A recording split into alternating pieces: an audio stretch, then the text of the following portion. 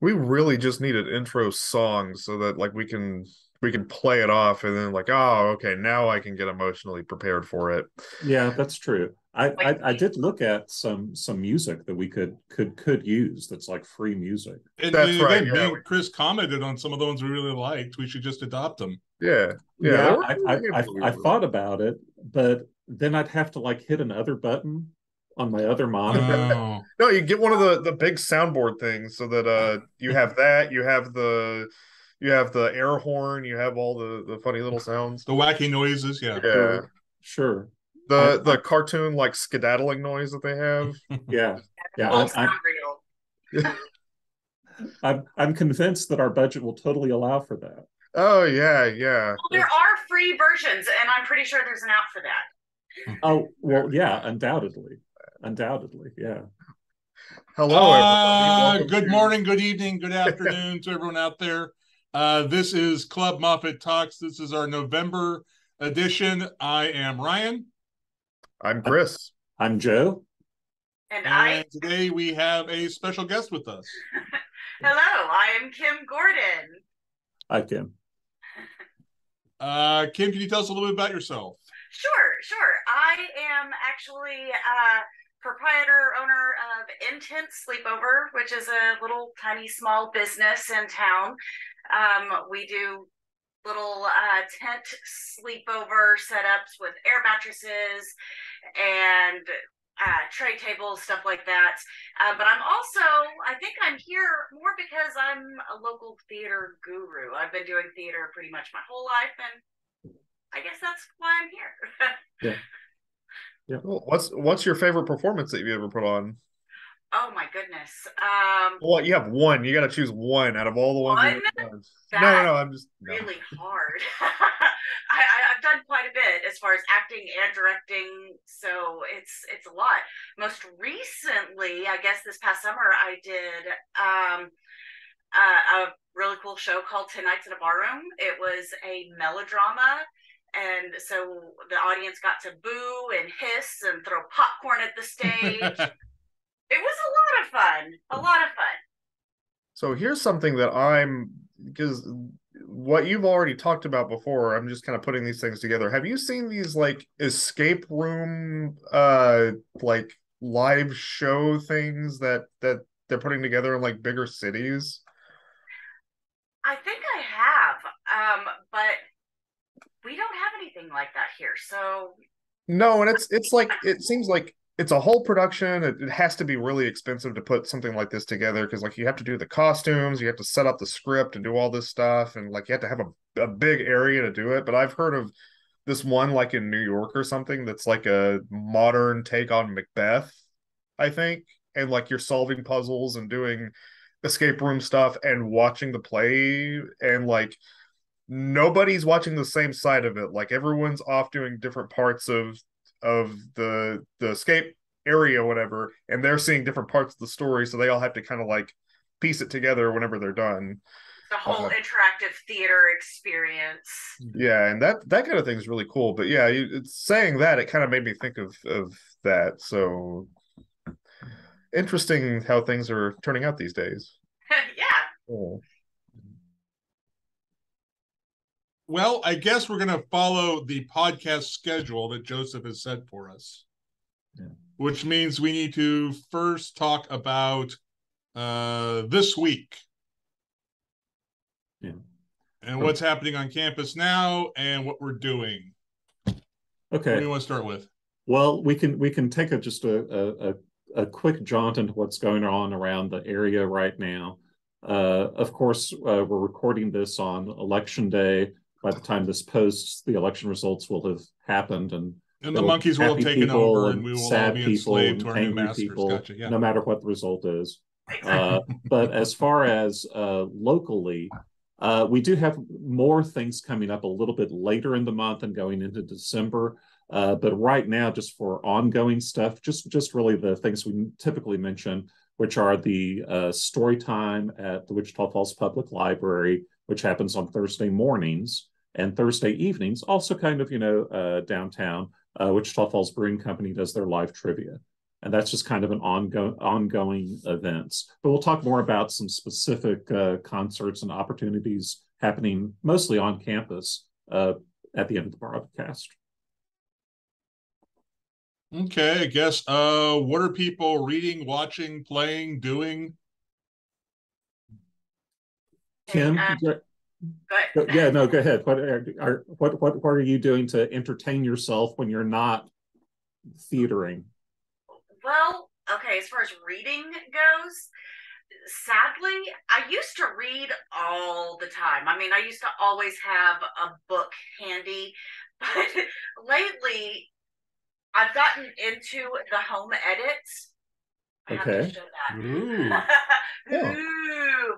Um, which basically it's a big fancy book that that helps me keep on track for organizing my house. That's what I've been Mm. obsessed with lately.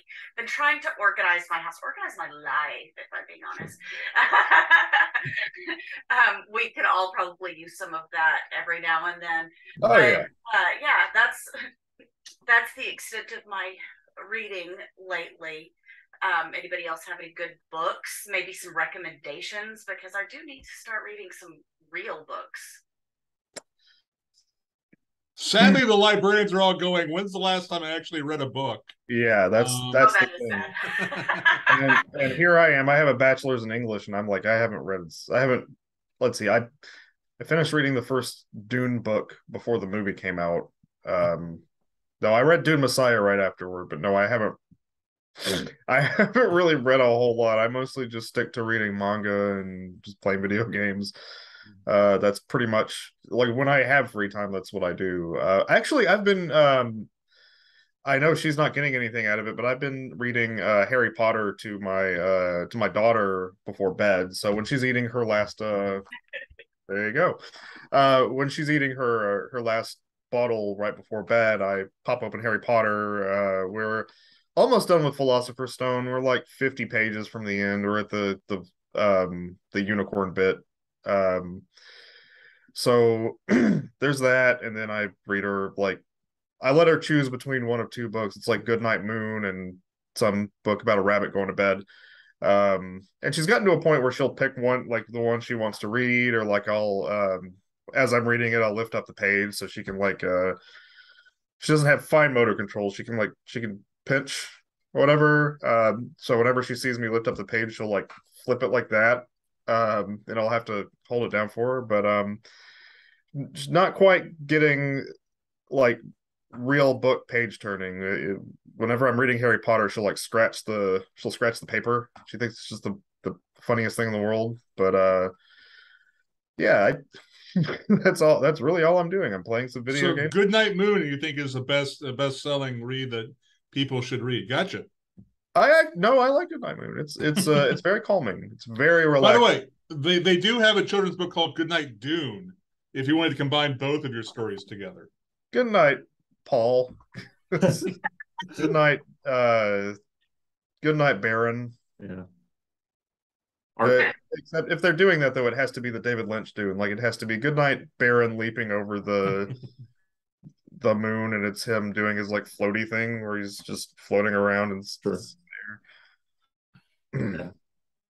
Uh, I I did the last thing I com- finished reading was that zombie apocalypse book, Mhm. um, uh, until the end of the world. I, I have the next Witcher book sitting on my nightstand, but I haven't started it yet. Netflix. I, Uh, I'm so disappointed. I'm just so angry. I it'll be okay. The movie not, or is the series not jiving with the books? Um, it's not, and it made Henry Cavill quit. It's, yeah, we heard about done- that cast change, which is disappointing. I love Henry Cavill. Is it Yeah. Cavill or I don't even know. That's that's the rumor mill at least is that they deviated so much that Henry was just like, nah, that's I'm done, and he just bounced. Because even last year he was like, as long as we're as long as we're adapting the books, I'm fine doing the whole doing the whole thing. But eh, guess not. I, I think he's just gotten really busy with other projects because apparently he's going to be doing more Superman appearances. Yeah. evidently. yeah, and I I think he's still supposed to be doing a Highlander reboot. Oh, really? Yeah, interesting. so There can only be one. Yeah. I guess, I guess so. There can only be one franchise that he's doing. well, I mean that's the thing is that he's he's he's already involved in two successful ones, uh, or three if you count Enola Holmes, um, which I would. Uh, honestly, maybe his best acting, but uh, uh, the yeah, he's he's a busy guy. Pe- People many- are wanting him to do stuff. How many Witcher books are you in at this point? I read well, and there it's weird because like the chronology on them is is funky because I've Mhm. read the two short story collections that I think were written later but then got released as prequels. Uh, no, the first the first one, um, the first one in the timeline is uh is the first one written. So this the story about him going to to see the the golden dragon or whatever. That's the first short story. Okay. And I have and I have read that one. But Yeah. I'm on the I'm on the fourth book now. Oh wow! So I Um, played the video games. yeah, I, I'm not gonna do that. Yeah, I, I I can't really play video games very much because I have a a a really bad like vertigo thing that sets in with playing the video games in any of the ones that move quickly, which of course most of them do. Uh, Yeah. So un- un- unless it's almost as slow as Pong, I can't do it. some people would argue The Witcher Three is that slow, but uh, yeah, that's that's my big like introduction to the series. Like I heard about The Witcher when it was uh when The Witcher Two was about to come out in like 2010. Yeah. I was like, I have no idea what any of these books are. I don't know what this franchise is, and I just fell in love with it. Like it's just, it's just such an interesting world and such a such a great character, such a great cast. I've been um, teaching Kiki's delivery service for my class for the last three weeks. So I've been re- uh, revisiting a lot of the Studio Ghibli um, films of that period, uh, the early years of uh, Miyazaki's uh, stuff, and the Studio Ghibli. So uh, only yesterday, which again is a brilliant film, um, and again My Neighbor Totoro and things of that nature. So what are we watching? Uh, I've been, I, I I have a tendency to find shows after they're done, uh, because I just recently started watching the series Teen Wolf, Hmm. um, uh, which I've been enjoying more than I thought I was going to. Uh, it's it's it was one of those things. Is like I put in my head as as like sort of the TV version of like uh, Harlequin romances, you know, just sort of like trash fiction.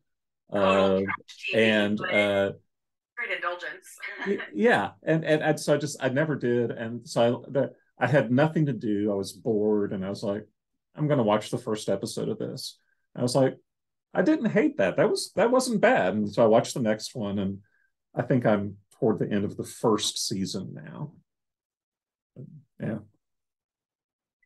Uh, Genndy Tartakovsky finished up the second season of Primal, Hmm. which I think is one of the best animated shows that's ever been done. Personally, Is Warner gonna continue that? Because I know they fired like half of their staff. Or, who or- knows what Warner's going to do? Um, it's not Warner anymore; it's Discovery. Remember? Right, of course.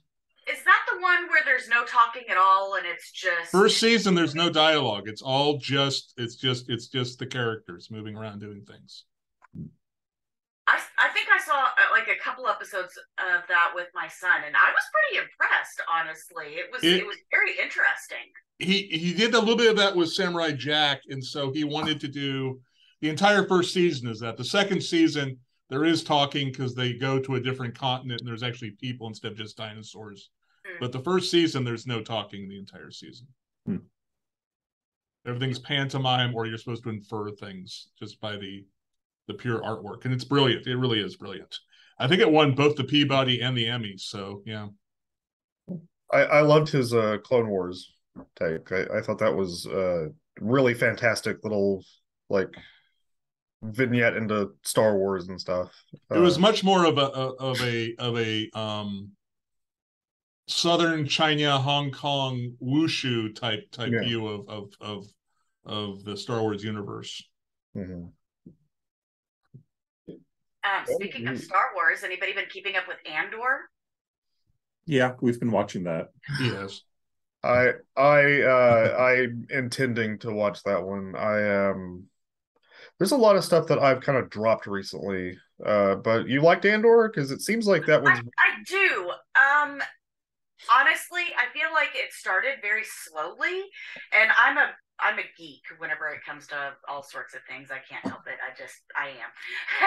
and um but it started really slow, but my husband was like all into it. So I'm like, you know, I'll kind of give it a chance. And now that it's kind of progressing and we're getting close to the season finale, um it's going a lot better. It's getting a lot more interesting for me. But according to my husband, it's the most Star Wars show since Rogue One. So okay. I'm like, okay, all right. it's it's not bad, but I mean, I I will admit that I do enjoy like the Mandalorian and stuff a little bit more.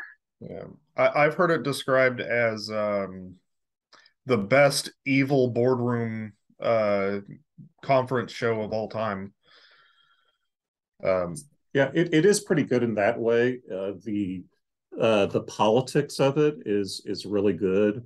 Um, I'm surprised sometime by how relevant politically and culturally it seems to be, uh, which is always nice in a work of fiction to have that place where you can actually relate to it, you know.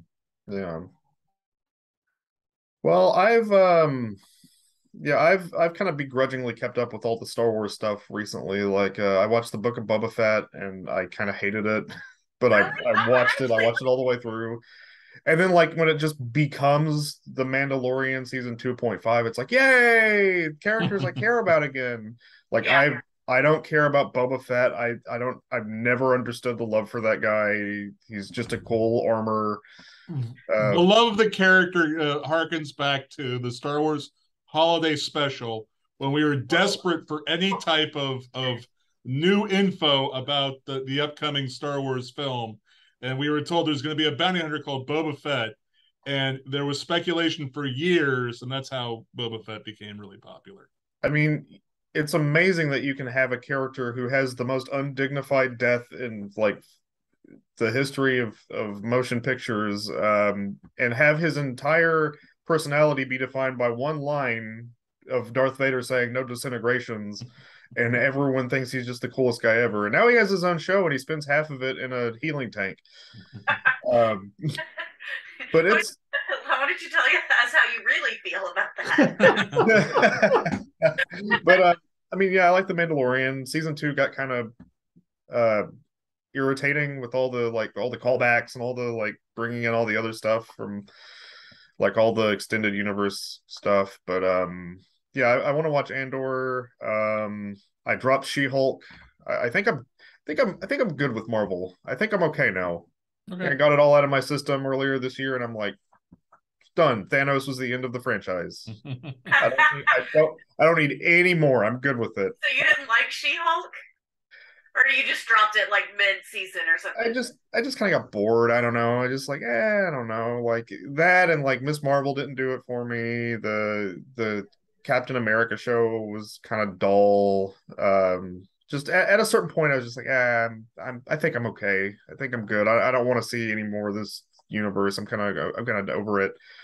But um, I dropped the Lord of the Rings show like uh, halfway into the second episode. I still haven't gone back to that. Um, I did really, really love uh, the new Game of Thrones spinoff thing. I thought it was uh, you know what? I'm I'm gonna I'm going to make my opinion known. The first season of House of the Dragon was fantastic. Um, it's I'm so happy to to be excited about that world again because like Essos is such a cool setting, and it was so let down by by just the way Game of Thrones ended, and just being back in that world and like the first season of this already gets into the weird like Innsmouth cult like fish people stuff and like all the uh, the crazy weird Lord of the Rings or not not that the the Game of Thrones setting that that you really don't see in the main series. Like it's just and the the politics and the a king that's actually competent and really cool like just everything about it. Like every I, I was I was hooked on that show. I'm so so happy that it's back I've been digging it too. I mean, it's been pretty good, uh, with the exception of the incestuousness. But you know, that's That's- Game of Thrones. That's Game of Thrones, though. It's the Targaryens. We all we all know it was gonna happen. You don't keep that silver hair for hundreds of years without some. And and the, and the purple eyes in the books too. Like you got to keep those purple eyes going. Did you read the the book this is based on, Fire and Blood? I did not. Me neither.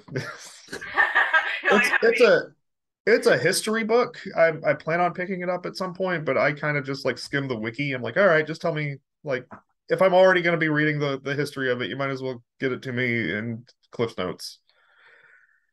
But Um, um, another show that my husband and I just started watching, and um, that I don't know if you guys have seen it. It's an FX show called Little Demon. It's very interesting. It's uh, produced by Danny DeVito, and I Animated, enough- right? Huh? Animated show. Animated, yes. yeah, Yeah. right. It's I've, him I've and seen his that. daughter. He plays Satan. Danny DeVito plays Satan, and his daughter plays the Antichrist, which is his daughter. Okay. So, um, I started watching it honestly because I read some controversy about it, and then I just happened to flip, and I was like, oh, I'm kind of curious. And I mean, there was people freaking out. Oh my gosh, they're promoting Satanism, you know, freaking out. So it's like, you know what? What the heck? So we started watching it, and it's very adult. I mean, definitely more along like the adult swim time. So I don't really know why people are freaking out since it's definitely adult. It's not meant for kids at all. Um, it was oddly disturbing, but awesome. Okay, I'll have to check that out then.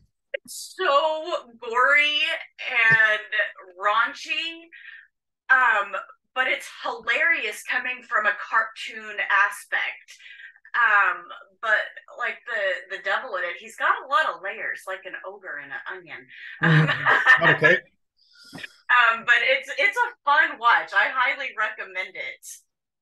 It's interesting about how that type of genre seems to be expanding because I would say that the Harley Quinn uh, um, uh, cartoon probably also falls into that category of raunchy and, and grotesque.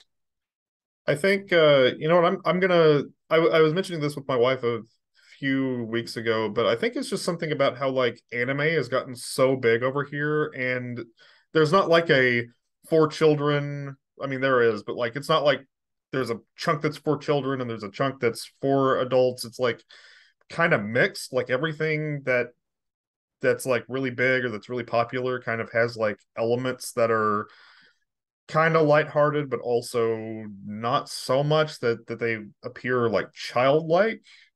And i think that that's having a big effect on like entertainment now because like especially with like comics and stuff you'll hear right now um i've noticed a meme like on twitter or something that um comes around every few years where it's like where where do i start on reading spider-man? And the the response is like here's like you could start on issue 600 something and then read like spectacular spider-man here and there and then go back to amazing and whatever and then for the other ones like where do i start reading demon slayer from volume one chapter one? You pick up the first one and then read it till it's over. And i think that that attitude really is has changed like animation and western comics and like just the approach to that stuff. And it's nice to see that that kind of thing is like like places like FX are, are really embracing that, and th- that's really cool to see. By the way, watch Chainsaw Man, everyone. That's my PSA for the week. Well, this has been Geek Talk. Um, Geek Corner with Kim and the Librarians. uh, we've alienated half of our audience by now, but let's try to maybe pull pull it back in. Um, yeah, we're supposed to be talking about local theater.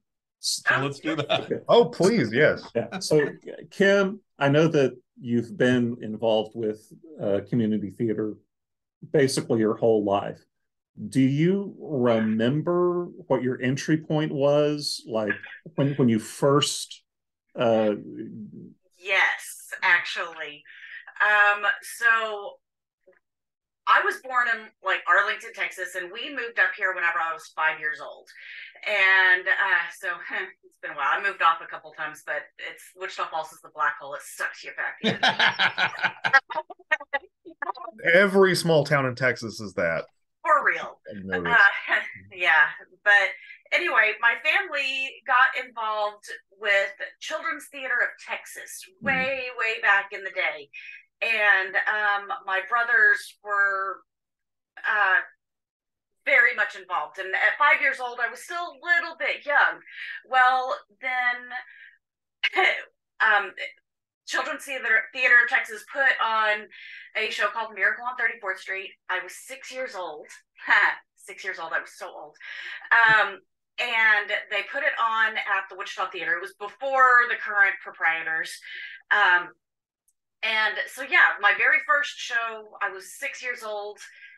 Miracle on 34th Street at the Wichita Theater. Um, the Wichita Theater at the time looked a little bit different. They didn't have the Performing Arts Center that was right next door to it, mm. and I was uh, a little traumatized by the by uh, the stairs on the outside. there's between the two buildings that's cover up covered mm. up now. There's um, a staircase that's over a hundred years old, and whenever we weren't on stage, we had to go through the alley between the theaters or between the two buildings and i had to climb this hundred year old alley to hang out in the balcony between like while the show was going on between scenes and i was pretty traumatized by that because i'm pretty sure i'm uh, it was very rickety and it was going to drop at any moment. But surprisingly, it's actually still there between the theaters. You just can't mm. see it because it's kind of covered up. But yeah, uh, shortly thereafter, I started doing shows at Backdoor Theater, and I never really left. Um, I've done, oh gosh, probably 60, 70 shows in my life. I mean, quite a bit. Um, I I perform, I direct, I work backstage, I do a little bit of everything. Does the pre-show jitteriness ever go away? No, and it shouldn't, honestly, mm.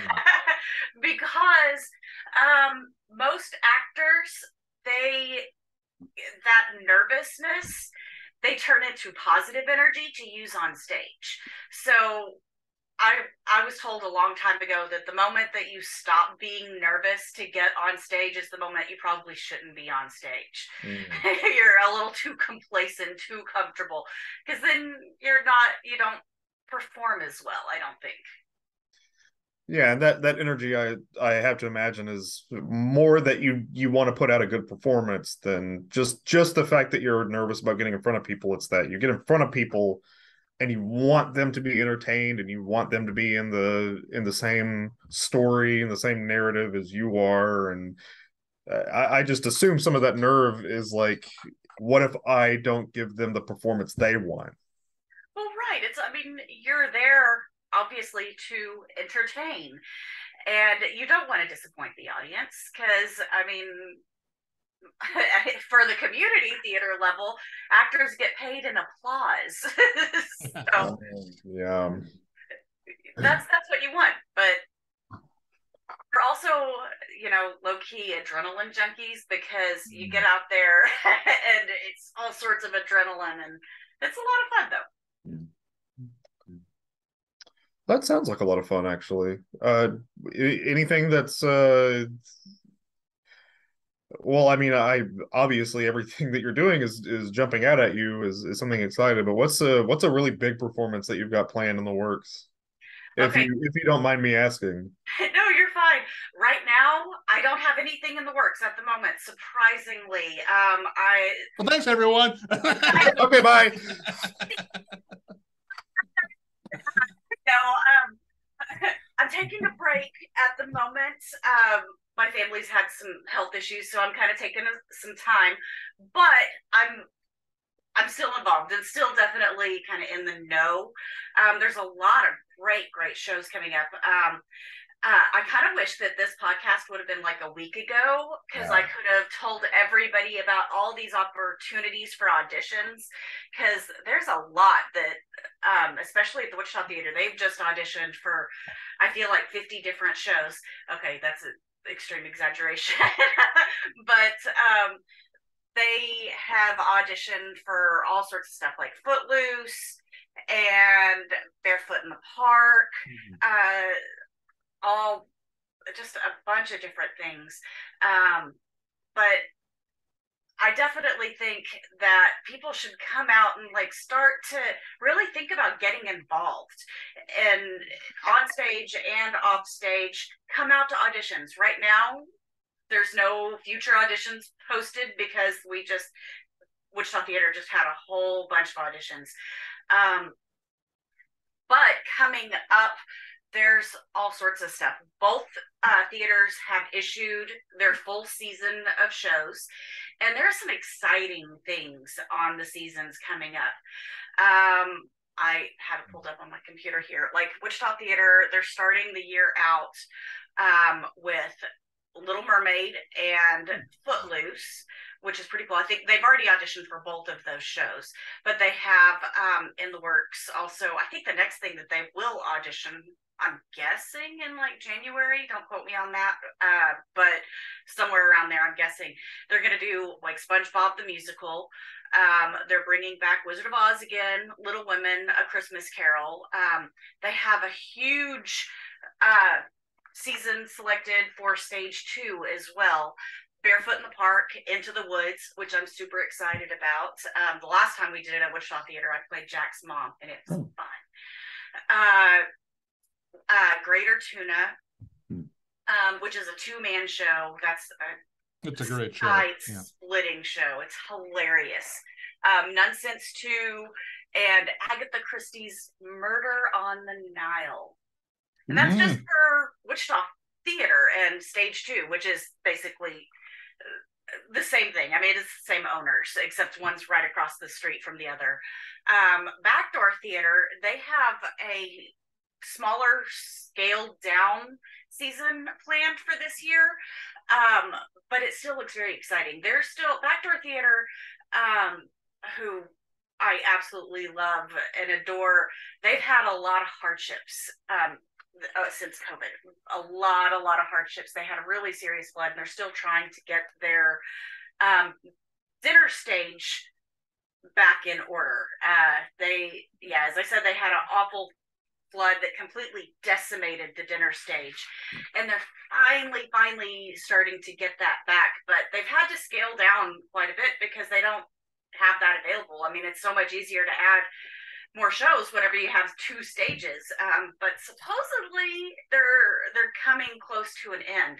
Uh, but they're going to start their year with Xanadu, which is awesome. Uh, some cheesy roller skating, gotta love it. Mm-hmm. Um, Mad Libs Live, which is a musical. Um, it's supposed to change every night, which is mm. kind of interesting. Uh, I have a feeling they're going to pull on a lot of their um, improv people. Yeah. Which is, is going to be a lot of fun.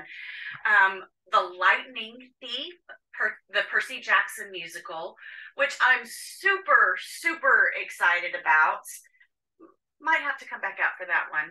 Uh, good timing for that too, because they're they're reviving the the film franchise. I think.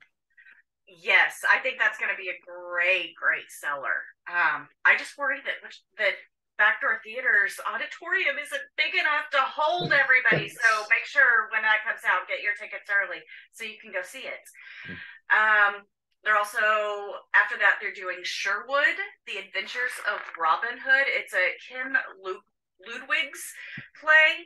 Um, Ken Ludwig, I'm I'll be honest, I haven't read this particular show, but uh, he is known for his extreme comedy, his extreme farce. So I'm guessing, and this is just a guess, maybe this is a rule breaker show, but I'm guessing that this is most likely going to be a hilarious comedy. So it's it's going to be one that's going to be fun to watch. Um, they're also bringing in Puffs, which I don't know if anybody has ever heard of that, but it is awesome. It is a a spoof of Harry Potter, and um, I watched it a few years ago on Broadway HD, a streaming service that I have, and it is so gosh darn funny. It really is. It's absolutely hilarious. And um, that's one, if you're a Harry Potter fan at all, you're going to want to see Puffs. You might even want to audition for it. Um, it's one that's kind of like Mad Libs, that it can change a little bit every night. There's a little bit of improv. Um, but it it spoofs pretty much all the Harry Potter characters. Um, and uh, uh, as you might guess, Puffs is based on Hufflepuff, and uh, and there's just uh, the the whole thing is is the Hufflepuffs living in you know Harry Potter and Gryffindor's shadow, and their whole philosophy is third or nothing. That I would like to see a, a, series like that where it's like the Ravenclaws and the Hufflepuffs and everyone else are just kind of there, and all the crazy like Voldemort stuff is happening like elsewhere. So it's like waiting for Godot, but Harry Potter. That's that sounds like that would be really a really interesting premise. Yeah, Puffs actually kind of goes through the whole series of Harry Potter in one short hilarious play.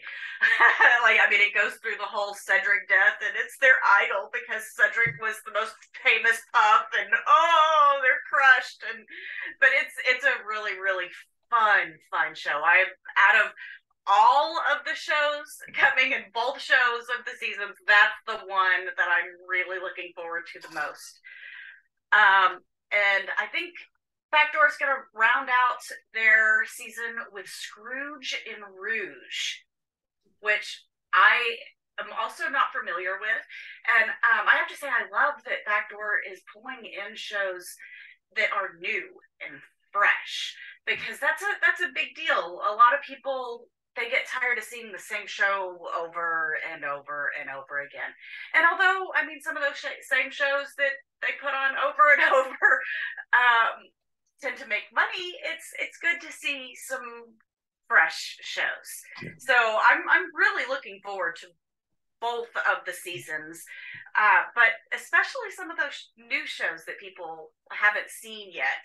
And I mean, both theaters have new shows that are coming out, but um, Backdoor does tend to have uh, newer shows and more fresh shows than Wichita tends to do. Um, a huge difference between the the two theaters is Wichita tends to do more family shows and musicals, whereas Backdoor Theater um, they do have some family shows, but mostly it's not. Mostly it's for adults. It's it's for the date nights. I mean, go with your significant other and enjoy yourself.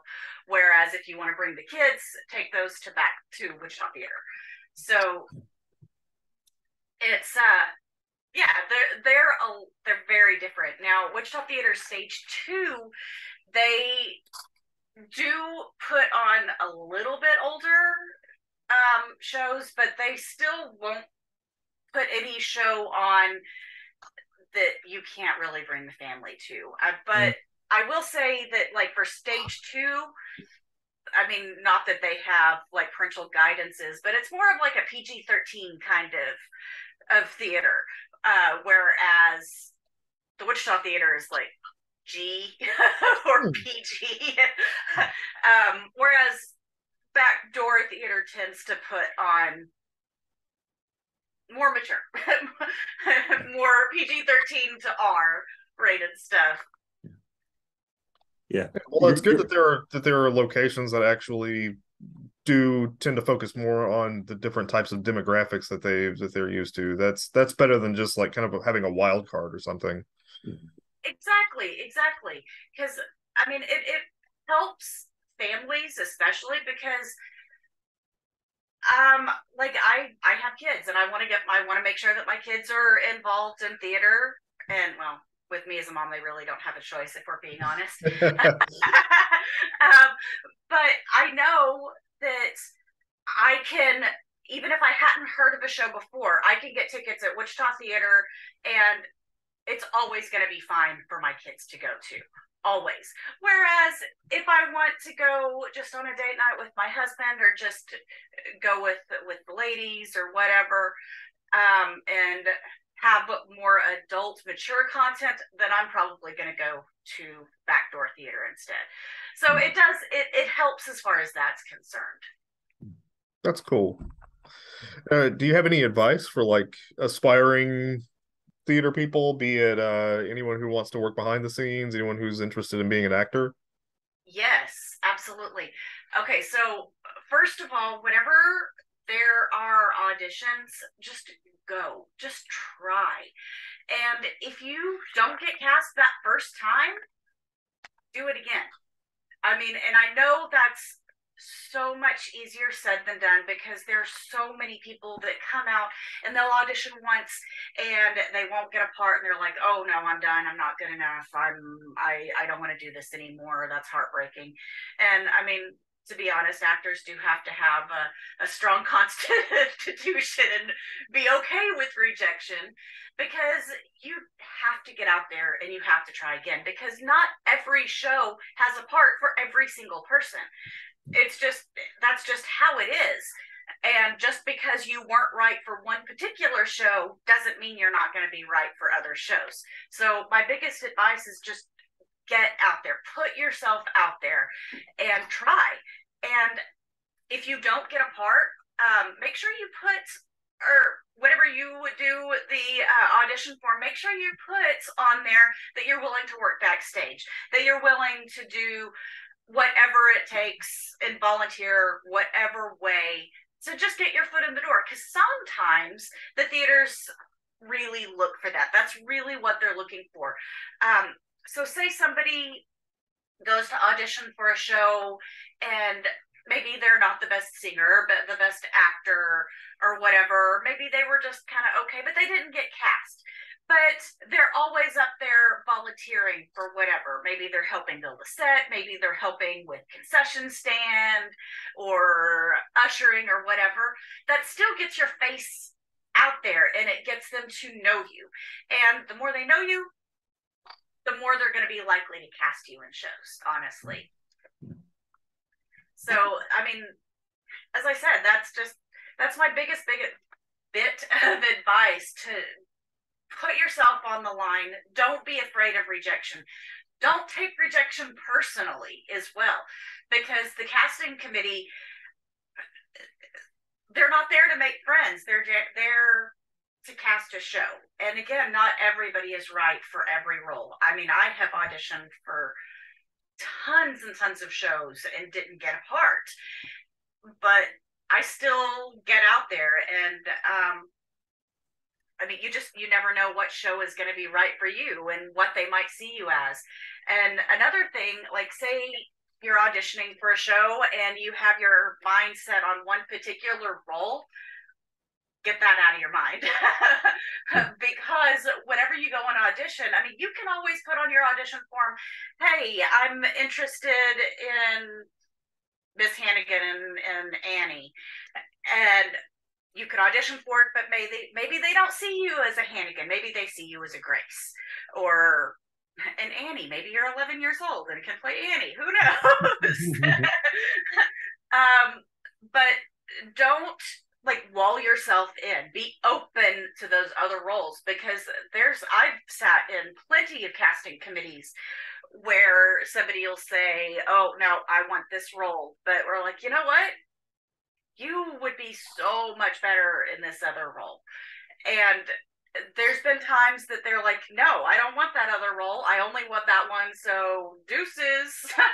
but don't do that. I mean, just kind of just be open to those to, to those experiences because it's a lot of fun. Um, once you get in there, and you start rehearsing, being a part of a theater family, a theater cast, it really it it becomes a family and there's no other experience like it. It really is. I mean they are theater people are probably some of the most accepting people on the planet of anyone and everyone. Um, it doesn't matter political affiliation sexual orientation none of that matters to theater people. They just they want you to belong and they want you to feel welcome. So if you're looking for that kind of of camaraderie, definitely, definitely uh, consider auditioning for a show and doing some local theater. We've got amazing, amazing theater opportunities here in Wichita Falls. Um, Wichita Falls is very, very rare in the fact that we have more than one community theater in town. We actually have three, technically. We have three stages. I mean, two of them are owned by the same. Well, I, I, guess if you want to be technical, we have four stages once the Backdoor Theater dinner stage is completed. Um, but there's so much opportunity in this town and it's very rare i honestly don't know if there's anywhere else in the country especially with our population density that have nearly as much theater opportunities as we do here. We're we are very very blessed in that department. Yeah, definitely. I have a quick question for you. Um, well, besides almost dying in an alleyway on a on a rickety bunch of stairs, do you have a a, a memory that sticks with you um, from the theater? A cherished memory of any sort? I have all sorts. Uh, there was there was one time I was doing summer youth musical at Backdoor Theater. This was probably my first big oops on stage that that we all any actor remembers their big oopses and well at my age, I've had quite a few, but my first big one, uh, we were doing Oliver for Summer Youth Musical, and I was just a chorus member, and uh, we were doing Um Pa, which was the big uh, like bar number, and um, I had a mug and well, I go and I sit on this guy's lap that is sitting downstage right, and he's sitting on this bench. I go and I I sit on his lap like I'm supposed to in the song, just kind of carefree. Well, the bench breaks while whenever I sat on it, and he literally had nowhere to put me. He couldn't hold me. So he just takes me and he throws me over his head. And I am literally caught by somebody in the audience on the front row. So, so yeah, I mean, I'm just thrown and the audience member they got a, a, a surprise that they were expecting um, but you know what? I, I got back up and I grabbed my beer mug, acted like it was all part of the show, and just kept going. wow, what a performance! You, can you believe they do that every every other night? Every... That's awesome. so, where can people go to get information about uh, auditions or your show times, or just just about anything they might want to know about any of the uh, local theaters around here? Um, both theaters have a website. Uh, Wichita Theater is uh, wichitatheater.com and Backdoor is backdoortheater.org. Do not look up backdoortheater.com because you will be in for an unpleasant, well, maybe pleasant for you. I don't know what your tastes are, but let me look that up at work real don't, quick. So don't look up backdoortheater.org Tom, because it's, not the theater that you are looking for. These are not the theaters you are looking for. Um, um, but both theaters are also very heavily represented on Facebook. I totally suggest um, getting on there, following the theaters pages. Um, check them regularly as well. Check the the Facebooks and the websites regularly because they update those auditions all the time. And sometimes they don't give a whole lot of notice for auditions. I mean, usually they're pretty good about giving a few weeks, but there has been in the past some occasions where you might only have like a week or so before an audition. And if you're not on top of it and if you're not looking, you'll miss it. So just make sure you you like and follow their pages and so that you see all those updates that they do. Um, to bring this back to the library for a second, uh, some of our students out there might go, but how I know I'm going to like it? I will point out that our students and our staff members and our faculty do have access to one of our databases, which is Digital Theater Online. And Digital Theater has hundreds of live productions. So if you want to see Into the Woods, you actually have it, can stream it to your computer for free if you want to see um, Barefoot in the Park, it, again, I've been checking it. We actually have Barefoot in the Park, uh, production of it. It has it has Broadway, it has the Royal Shakespeare Company, it has uh, the LA Theater, it has so many different uh, theaters throughout the, the United States, Europe, and the world in this database. And you guys have access to all of them. If again, if you are a current student here, you can spend your entire time doing nothing but watching great live theater uh, on it to see uh, will I like? Because again, I, I know a lot of the students are going. Well, how do I know I'm going to like that? I don't know if I'm going to like that that particular production, or how do I know I'm going to like that story? If you want to check it out, you can check it out. We have lots of different things online for you to look at, and anything that gets people interested into theater, I think, is worth it. So, and again, you guys are paying for it. It's a streaming service that's not re- really used that much, and I think a lot of people out there aren't aware of it. And again, it's digital theater. It's in the library databases literally hundreds of um, live productions that have been filmed. That's awesome. I kind of wish I could get in on some of that. I'm just saying. Well, um, take a lifelong learning class. You'll have access to it. As a as a disclaimer, we're not saying watch that instead of the productions no, I'm, that our theaters are putting on. The thing with with theater though if you if you really are asking why why should i watch this? Why should i go and sit down and and take the time? Because because some shows especially some some of the bigger ones can last for quite a bit. Yeah. i've i've heard of shows that go on for multiple days even depending on i don't know if our theaters do that but depending on how big it is you, you might need three four days for one performance to uh, to go through and when when we say maybe check out one of the recorded performances that's like those are edited together. They have different shots for different cameras and stuff. The actual live event of going in and watching a performance and seeing different interpretations from different actors of, of whatever character that that they're portraying like that's really what you want to do whenever you're going to a live show at at any kind of theater you're going there so you can see a very unique take on something that's that's been written before, that's been performed before. Uh, and I mean, I, I've seen some instances where they where where a theater will change a setting, they'll change uh, genders for a character. It just really depends on who's running it, who's going to be in the show. Like you're going there for the performance. Yeah. One of the most brilliant live performances I ever watched was back in the '90s when SMU was doing Hamlet on Monday, Wednesday, and Friday, and doing Rosencrantz and Guildenstern are dead on Tuesday, Thursday, and Saturday. Same cast. That's, that's fantastic. Nice.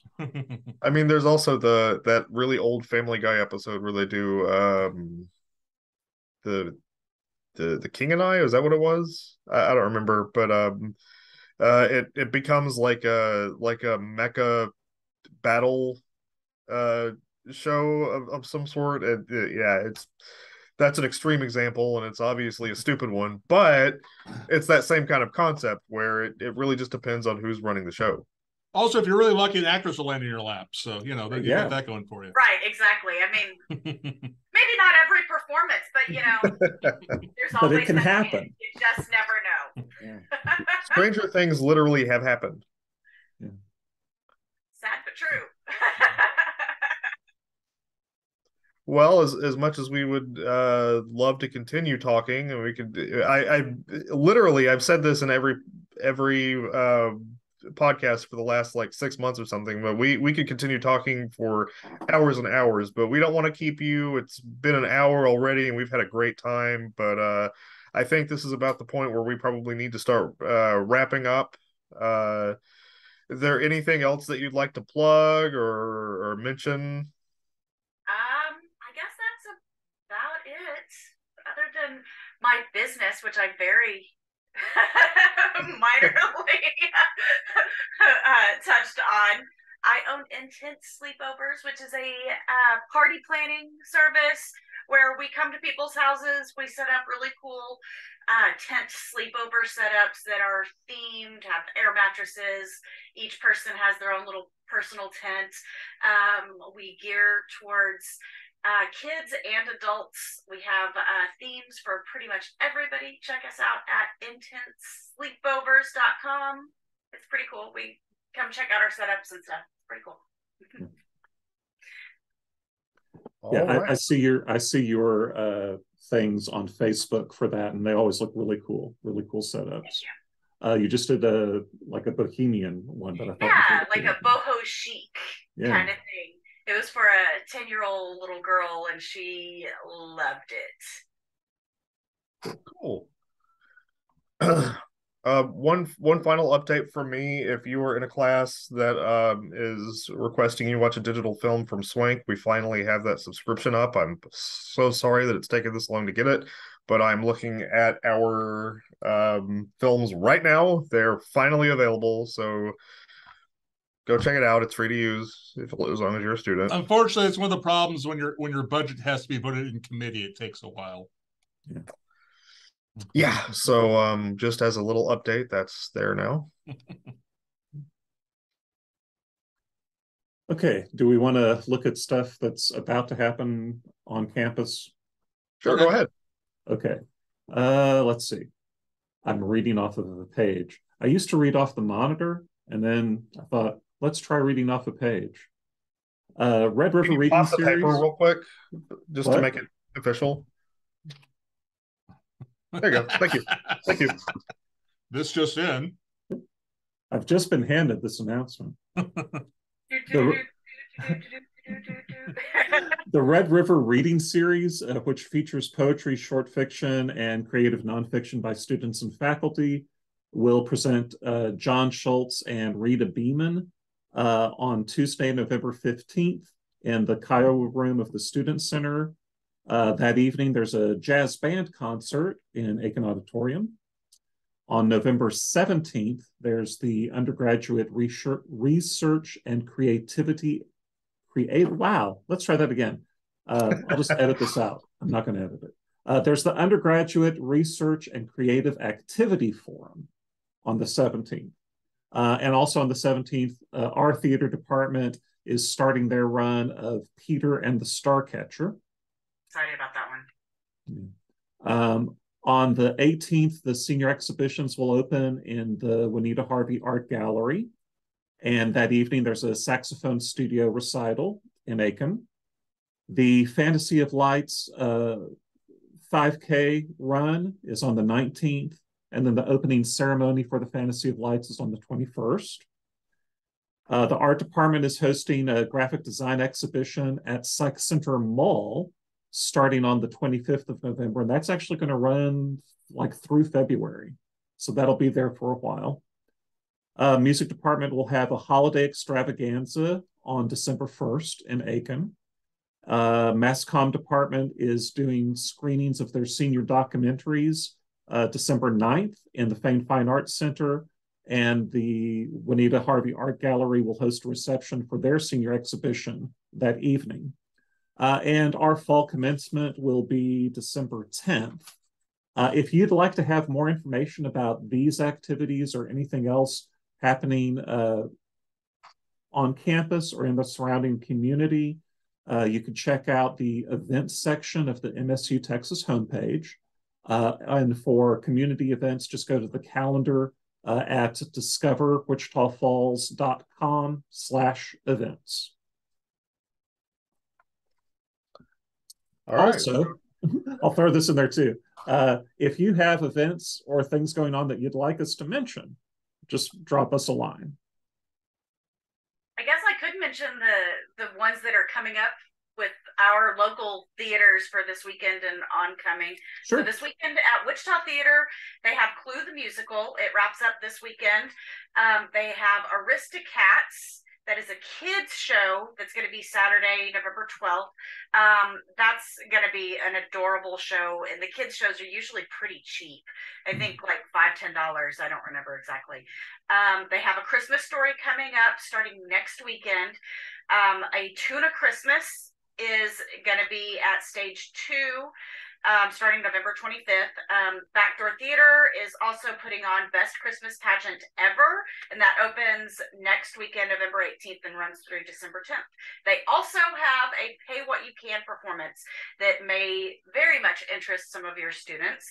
Um, it's a first come, first serve. That's going to be on 1127 and uh, you have to order online to reserve your seats. So if you really want to see that show and you're very strapped on cash definitely check them out uh, for that pay what you can performance on 1127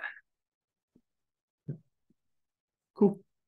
Very cool. All right. Sounds good to hear Kevin, we're we very much appreciate you uh, coming in and joining us and and talking with us. I know that we ramble sometimes, especially me, but we'd love to have you on anytime in the future. Whenever anything's going on, just uh, shoot us a line and let us know.